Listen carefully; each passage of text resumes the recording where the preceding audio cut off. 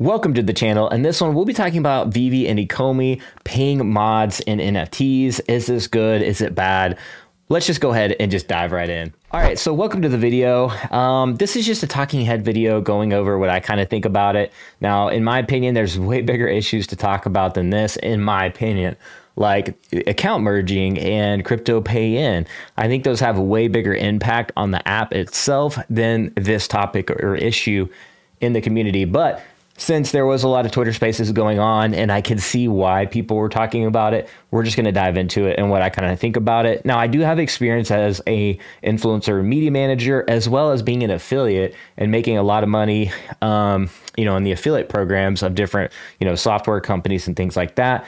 Um, I came from that kind of space of software and earnings and things like that. So I know what to expect on both sides, being on both sides of the affiliate and the influencer and media manager and helping craft and build those programs on each side, right? So with that being said, what I kind of think about this situation is um, well first of all if you don't know what's happening let's talk about that you know VeVe is a paying mods essentially in the discord to perform, you know, services essentially, or it's set up like a reward program. So the moderator does their thing and they get rewarded for it. Is how it's kind of set up, and they can even roll over their rewards for like the next month and get a better um, chance of getting a better NFT essentially or collectible.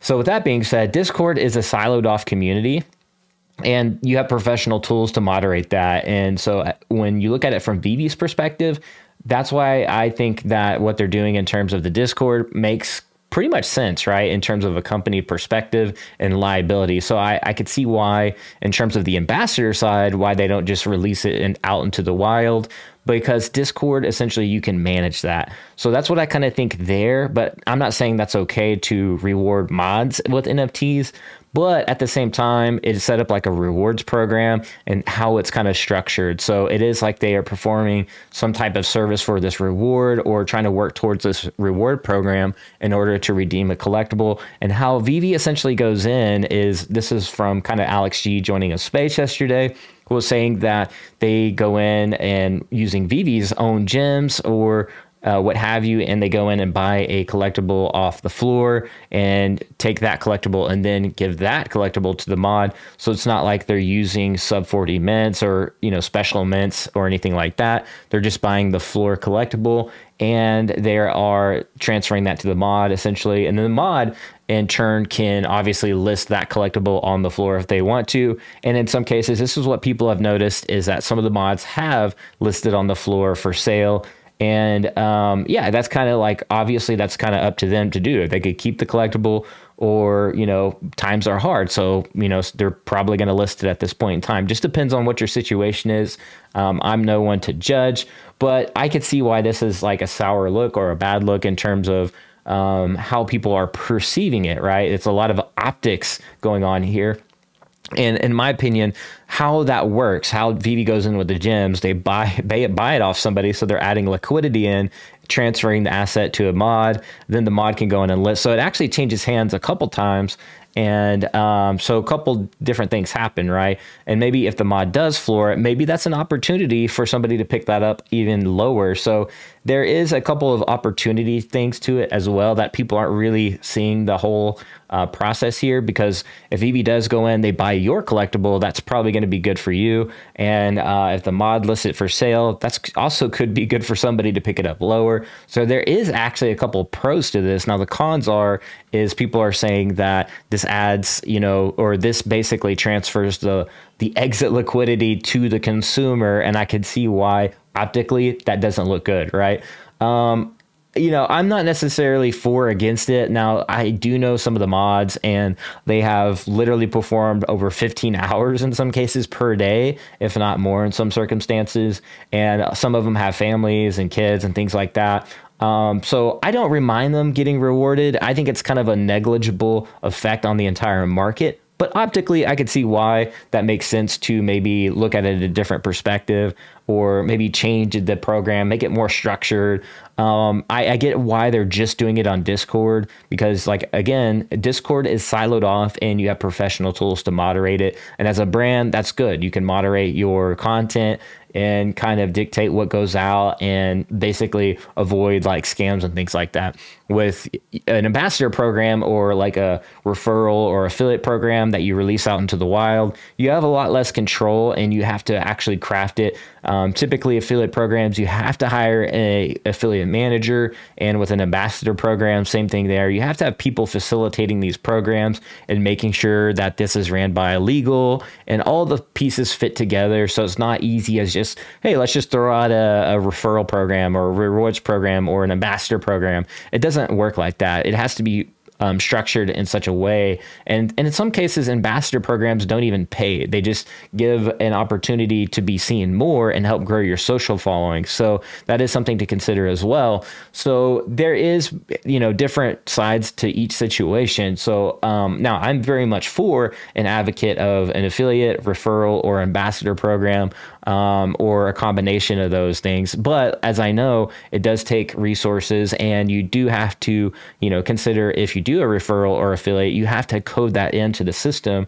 And VeVe is proprietary, so you are taking away developer resources that could be otherwise better spent scaling the app or working on other things, right? So I think those things will come. We mentioned we seen Dan Crothers mention that the creator toolset um, coming. I think Reese has mentioned it as well on in the VeVeverse. So it is coming. It is something they are aware of, and that's why I don't necessarily beat it with a dead horse.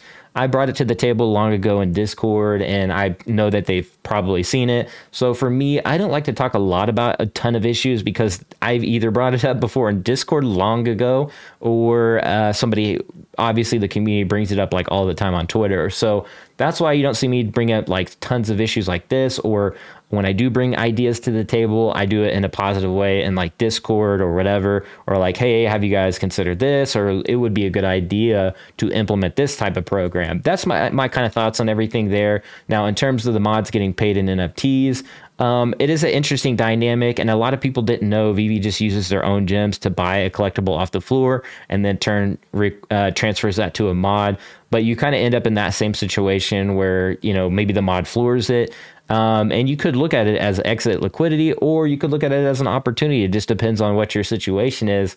Um, and everybody has a different opinion on it. I'm kind of torn because I know some of the mods I think they deserve it. They've been working 15 hour plus days from the beginning to help grow the Discord, onboard new users, which in turn provides more liquidity to the market.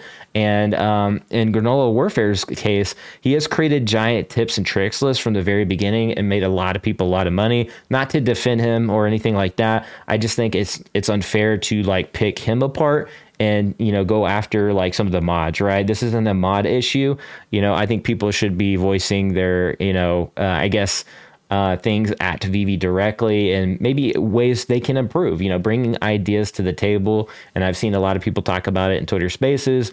And again, I'm for the ambassador program, but I do realize it takes an immense amount of resources to actually build that up and have the uh, legal team check that out. So I don't know. I'm torn on the whole issue. I don't know if there's a definitive answer in there. I just wanted to go into how it was currently working, and they may decide to change that up depending on obviously the community and how they reacted to it. Um, in terms of market impact, like again, I will say to me, it's kind of negligible because the way they transfer the assets over and that collectible would already been on the floor anyways.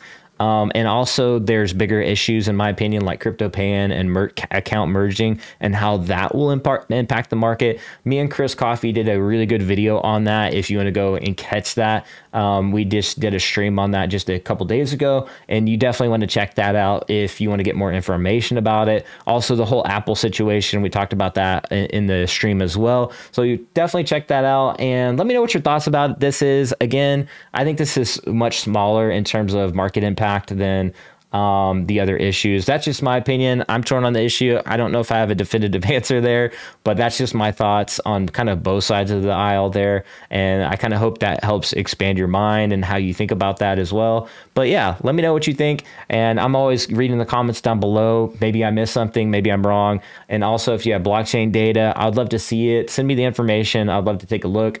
But with that being said, like and subscribe if you enjoyed the content in the video. And as always, be like an NFT, be authentic, and I'll catch you later. Peace.